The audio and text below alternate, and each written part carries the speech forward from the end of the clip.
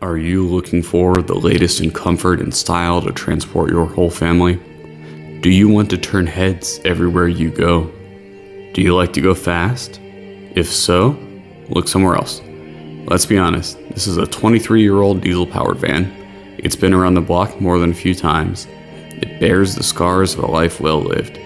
If you're looking for a top of the line, reliable people mover slash camper slash truck replacement slash party van that still fits in tiny underground parking structures, then you are in the right place.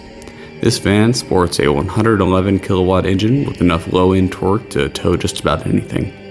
As a result, it has surprisingly quick acceleration. It will go over 900 kilometers on an 80 liter tank. I've personally driven it from Norway to Italy without a problem. This turbo powered diesel engine is reliable.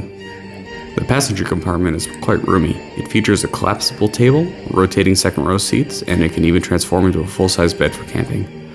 All seats can be easily removed in mere minutes to transform this into a cargo van that can fit two European pallets inside. It features new alloy rims, all four brakes and rotors have recently been replaced, starter and battery are both less than a year old, aftermarket sound system with room for added subwoofer, upgraded LED fog lights, and main light wiring harness Rear view camera with a huge display. You can parallel park this baby anywhere. Has a motorcycle and bike rack that can optionally be included. I've installed an aftermarket parking heater uh, with a remote start. It burns diesel fuel directly to heat the engine and cabin without draining the battery. You'll never have to climb into a cold car or de-ice your windows in the winter.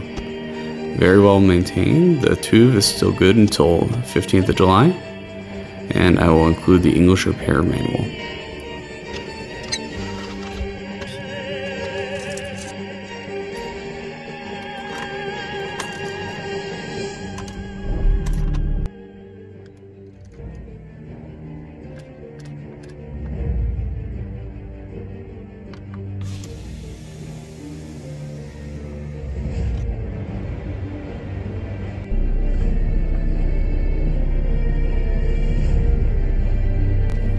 To take care of my vehicles, and I'm sad to see this one go. If it was only two years older, I could take it back to the US with me and register it as an antique. However, my loss is your gain.